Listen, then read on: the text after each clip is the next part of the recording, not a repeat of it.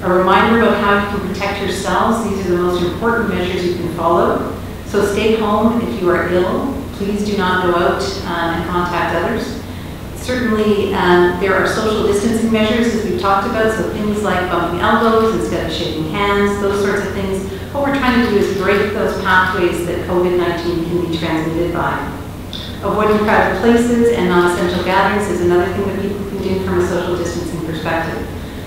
Wash your hands often with soap and water or use hand sanitizer if you don't have uh, soap and water available. Avoid touching your eyes, mouth, and nose. Avoid contact with people who are ill. If you do see people who are ill in the community, avoid contact with them and their items. Remember to cover your cough or your sneeze with a tissue, or if you don't have that available, to cough into your sleeve or sneeze into your sleeve. Remember too to wash your hands even if you do those measures after that uh, has happened.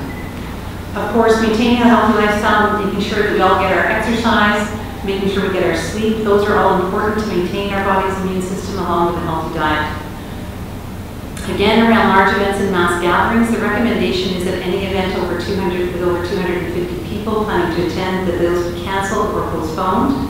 For smaller gatherings, you can contact public health services at our hotline and uh, get some, some guidance. Things to think about though are about who is coming to those sessions. So sessions that are for people who are elderly are not recommended. Um, venues where people are going to be tightly crowded together, those are generally not recommended. Again, avoiding that crowding and uh, maintaining social distance.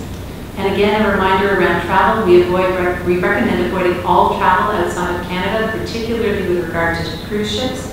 And if people do return from outside Canada, Canada, it's being recommended that they self-isolate for 14 days. If you do choose to travel as well, if you need to for essential purposes, keep in mind that you might run into a healthcare system that doesn't quite operate the same way that ours does. There is a possibility that you may end up locked down in that country or that there may not be travel arrangements to return. So you might be away much longer than intended.